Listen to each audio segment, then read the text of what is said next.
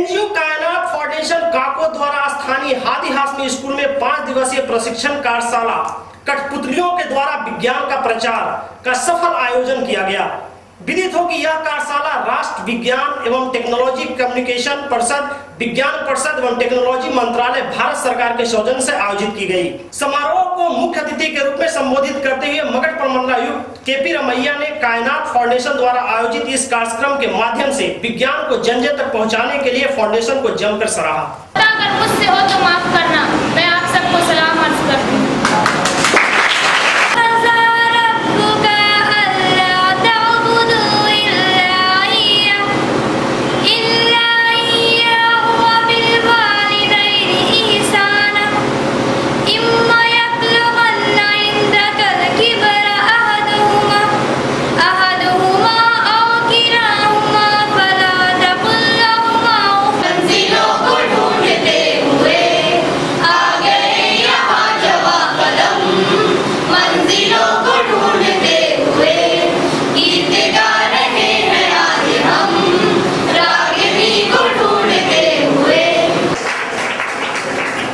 Science का संबंध में साइंस आज का जीवन में एकदम एक अंश बन करके रह गया, हर एक आदमी का जो अंग साइंस के बिना नहीं चल सकता। अब जिसमें मैं बात कर रहा हूँ, जैसे मेरा साउंड रिकॉर्डेड हो रहा है, वो भी साइंस है। मोबाइल जो काम कर रहा है, ये साइंस है। टेलीफोन काम कर रहा है, ये भी साइंस है। इलेक्ट्रिक बल्ब काम कर रहा है, वो भी साइंस है। गाड़ी जो रन कर रहा है, वो भी साइंस है।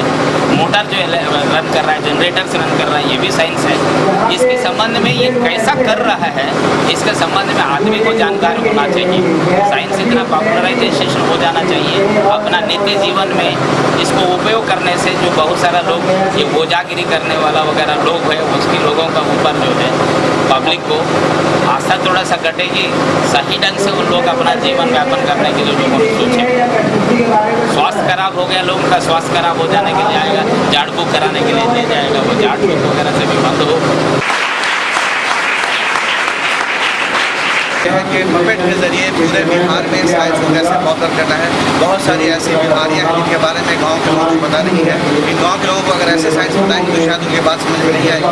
लेकिन हमने कोशिश किया है कि पपेट के ज़रिए बच्चों को पूरी पूरी टीम को तैयार करके उसको गाँव गाँव में भेजना और गाँव में उनको अवेयर करना। जनरल अवेयरनेस के लिए ये पपेट का प्रोग्राम है। पाँच दिन की कार्यशाला होगी। इस पूरे कार्यशाला में तमाम नौजवानों को ट्रेन किया जाएगा। इनके ग्रुप फिर गाँव गाँव में जाकर के इसको प्रचार और प्रसार करेंगे। कितना फ़ायदा इसको मिलेगा? इसका कितना फ़ायदा हम लोगों को मिलेगा सीधा आ, सबसे पहले तो फ़ायदा उनको मिलेगा जो पपेट बनाना सीख जाएँगे। कम से कम इतनी बात तो ज़रूर होगी, अगर अच्छा वो पपेट बनाते हैं तो उसकी वो मार्केटिंग भी कर सकते हैं। दूसरी बात ये होगी कि पपेट के ज़रिए जो लोग दूसरों को बताने जा रहे हैं, कोई सीखे या नहीं सीखे, उनको तो ज़रूर सीख मिलेगी, जो लोग पपेट के बारे में बताएँगे जाकर इस इशू पे वो बात करेंगे।